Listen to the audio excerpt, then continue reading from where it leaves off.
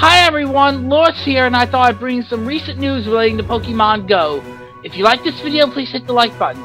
Be sure to subscribe to the channel hit the bell for alerts of when I upload new content to the channel, especially those with disabilities similar to mine. I am back. I am sorry for the two-month hiatus. March and April have been busy months in my life, on top of other things. But I'm back to talk about a lot of things, like for Community Day, which was announced this week, it will be Fennekin, and its shiny form is confirmed. It will learn the move Blast Burn and Mystic Fire. And for $1 or equal equivalent local currency, you'll have special access to the to the special research story Fur and Flames.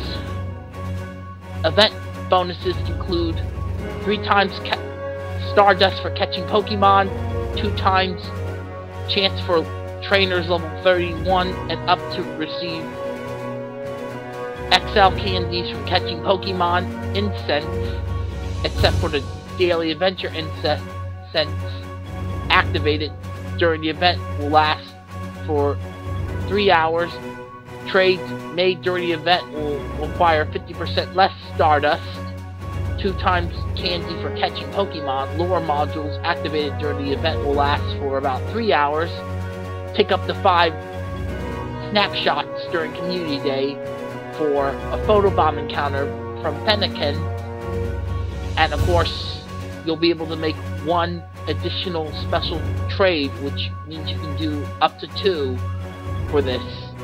And after Community Day will be the bonus raids, which will last from 5 p.m. to 10 p.m. local time.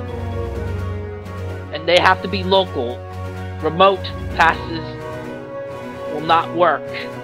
And you'll be able to battle Braixen, Fennekin's evolution, and, and I forgot to mention, if you evolve a Braixen into Delphox, it will learn the moves I mentioned earlier. And there will be a bonus, like there has been since this has been introduced last summer. Fennekin will appear around the gym that hosted the raid for at least 30 minutes, and you will have another chance to catch a shiny. And there will also be field research that accompanies this. In other Pokemon news, announced last week will be GoFest 2023 and they'll be appearing in August in person and globally. And we're going to get three locations, starting with London, England,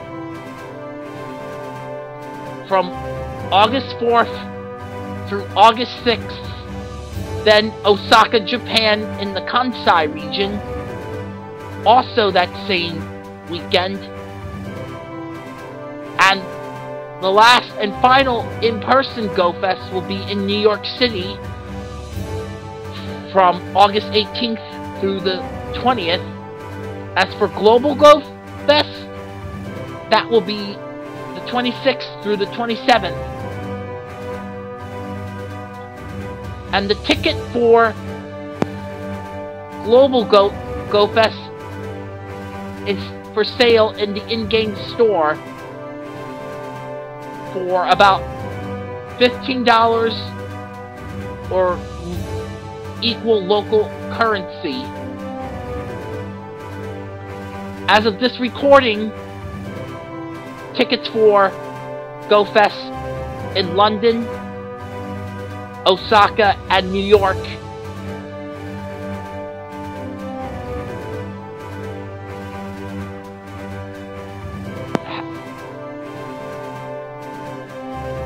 are also for sale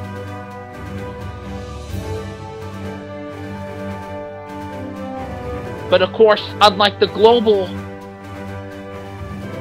Go Fest, currently Osaka's Go Fest tickets are not for sale, but tickets for London and New York are still for sale, meaning Osaka could be sold out.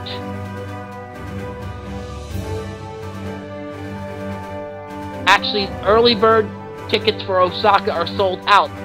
General Mission tickets will go on sale soon.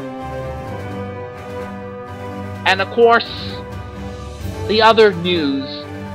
Kleavor from Pokemon Legends Arceus, which is the second evolution of Scyther, will make its debut into the game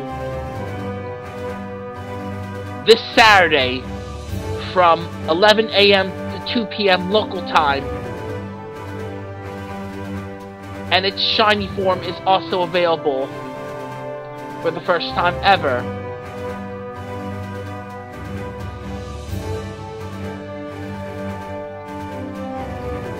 One more thing. As for me returning to streaming, still got some things in my head I have to clear up, and which is one of the reasons why I haven't been able to do a lot of these videos as of late. But hopefully, I will resume streaming, and I'll also talk about other exciting news that will hopefully come later down the road this year. Thanks for watching, everyone! You can also follow me on Instagram, Twitch, Facebook, and TikTok. And remember, it's time for adventure!